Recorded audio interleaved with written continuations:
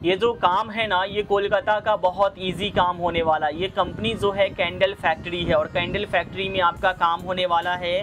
दरअसल यहाँ पे काम बहुत ही इजी है और बहुत ही नॉर्मल काम होगा। नया रिक्वायरमेंट है कैंडल फैक्ट्री का जॉब्स का अपडेट आया हुआ है। दरअसल ये जॉब का प्रोफ़ाइल है हेल्पर्स का है लेबर्स का है। तो यहाँ पे हेल्पर्स लेबर का प्रोफ़ाइल रहेगा क्वालिफिकेशंस में है। यहाँ पे कोई भी पास आउट चलेगा क्वालिफिकेशंस अगर आपका नहीं भी रहा तो भी आप चलेंगे। वेल प्रॉब्लम्स नहीं रहेगा। तो यहाँ पे क्वालिफिकेशंस को लेकर के कोई भी बाउंडिंग नहीं है।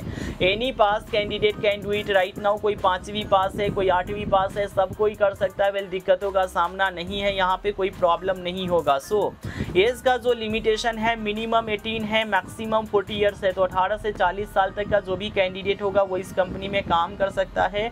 उससे कोई भी समस्या का सामना नहीं करना होगा। तो एज अठारह से चालीस साल तक दिखाया गया है और यहाँ पे मेंशन किया गया है। वल्ली मेल कैंडिडेट का रिक्वायरमेंट है, इसमें फीमेल नहीं चलेंगी। तो सिर्फ़ और सिर्फ़ यहाँ पे मेल कैंडिडेट का ग्रांड ओपनिंग है मेल कैंडिडेट का रिक्वायरमेंट्स होने वाला है। सो ड्यूटीज़ में दस घंटे की शिफ्टिंग है, यहाँ पे दस घंटे का आप लोग का काम रहेगा। पोस्टिंग जो है नई हट्टी पानापुर लोकेशन है तो नई हट्टी पानपुर लोकेशन में ये काम होगा।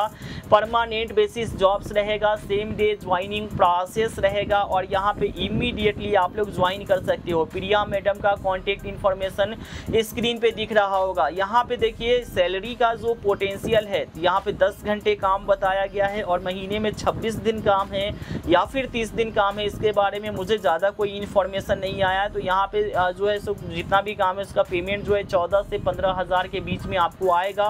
और इसमें अकोमोडेशन के बारे में भी नहीं बताया गया है फूडिंग के बारे में भी नहीं बताया गया तो इसमें ज़्यादा कुछ हम डिस्कसन नहीं करेंगे। इंटरेस्टेड है तो ज़्यादा जानकारी के लिए प्रिया मैडम को कॉल कर लीजिए, बात कीजिए। इनफैक्ट आप लोग आगे के प्रोसेस को फॉलो कर सकते हैं। Thank you so much everybody for watching this videos